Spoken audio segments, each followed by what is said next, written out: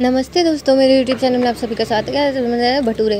आप देख सकते हैं, हमने यहाँ पे लिया मैदा। उसमें डाला थोड़ा सा नमक, इस पर डाला थोड़ा baking soda baking soda powder यहाँ पे लेते हैं हम थोड़ा सा पानी। यहाँ पे हम इसको अच्छे से गूँथ लेंगे। आप इसमें दही भी ऐड कर सकते हैं, ताकि वो अच्छे से खमीरा हो जाए, आटा हमारा।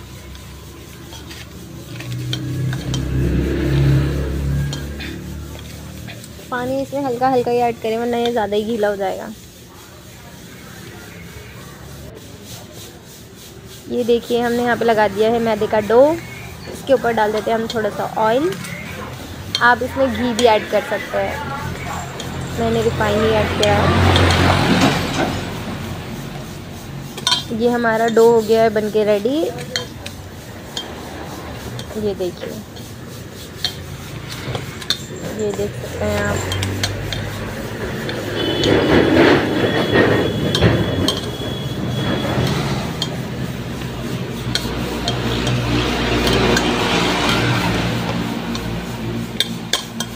ये देखिए, अब हम इसको रख देते हैं यहाँ पे ढक के जो कि हम इसे 10-15 मिनट तक रखेंगे थोड़ा सा ऑयल छोड़ के। मतलब आप घी भी ऐड करके रख सकते हैं, फिर इसको हम ढक के रख देते हैं थोड़ा सा 10-15 मिनट तक के लिए।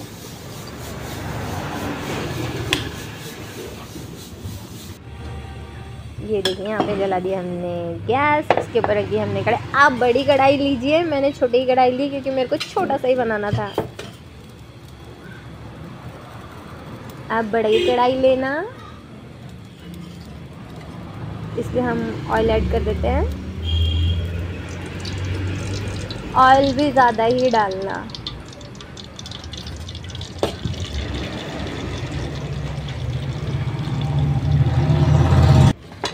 ये देख सकते हैं आप, हमारा डो कितना सॉफ्ट हो रहा है एकदम। यहाँ पे हम इसको बेल देते हैं। आप जितना बड़ा साइज़ कर सकते हैं, मैंने इसका साइज़ छोटा ही लिया है, क्योंकि मेरे पास छोटी कढ़ाई थी। ये किसी कस्टमर की डिमांड थी, इसलिए मैंने सिर्फ़ एक ही बना के दिखाया है आपको। यहाँ पे हमने ऑयल चेक कर लिया। देखिए, हमारा ऑयल हो चुका है गर्म।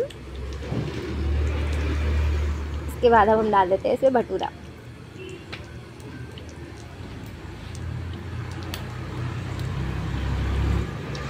आज यार मेरा कैमरा सही से सेट नहीं है इसलिए आपको थोड़ा ठीक से नहीं दिख रहा होगा।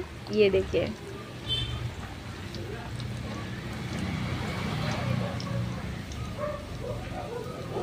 आप जितनी देर इसको खमीरा होने के लिए रखेंगे, उतना ज़्यादा आपका भटूरा अच्छा निकलेगा पर ये बहुत ही ज़्यादा टेस्टी था अच्छा भी हो रहा था, मैंने खुद ट्राई किया है। तो आप भी घर में ट्राई कर सकते हैं। और अगर आप लोगों को मेरी रेसिपी पसंद आती है तो प्लीज़ मेरे चैनल को लाइक शेयर एंड सब्सक्राइब कीजिए।